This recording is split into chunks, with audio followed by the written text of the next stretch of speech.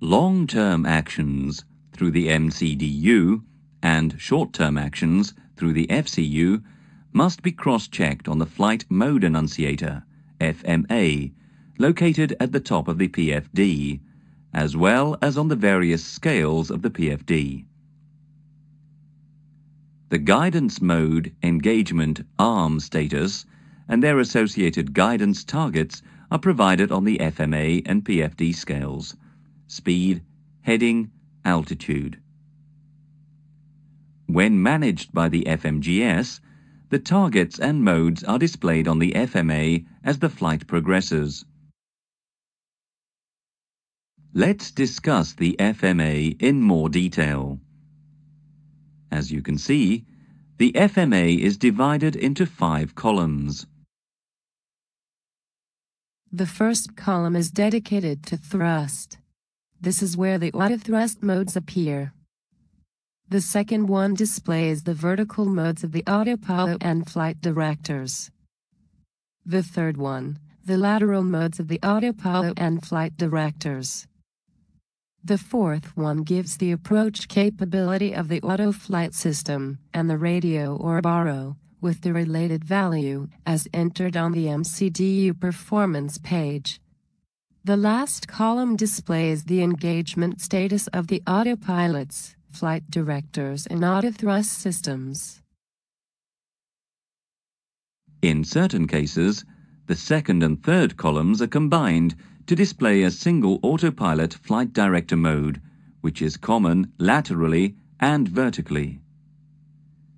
These modes are common modes for approach, which means that they are closely linked together.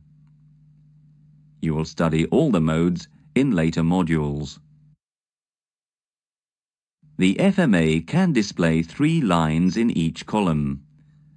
Let's look at the first three columns. The first line shows the engaged modes to the flight guidance system. In our example, the speed mode is engaged for the autothrust. This means that the autothrust will manage the thrust to track the target speed. The altitude, ALT mode, is engaged for the vertical mode.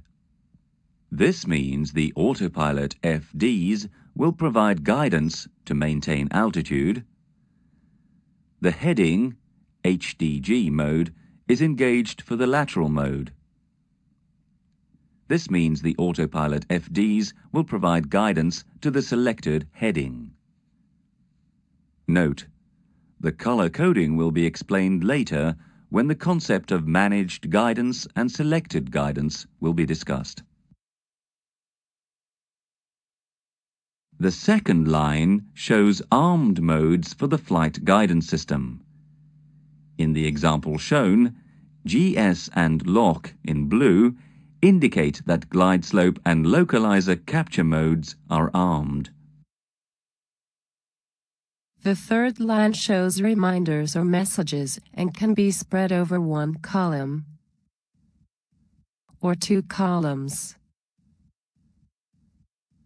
In our example, the column 2 and the column 3 are used for a special message, which advises us to check the consistency of selected approach.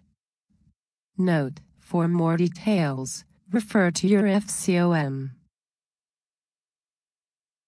When any mode changes on the FMA, it is boxed for a few seconds to draw the pilot's attention to this new status.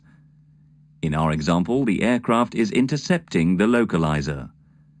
The star, after the LOC indication, means that the aircraft is in the capture phase. Once established on the localizer, the indication becomes LOC. Notice that the glide slope is still armed. We will be learning more and more about the FMA in the following modules, as we are constantly using it during all autoflight operations.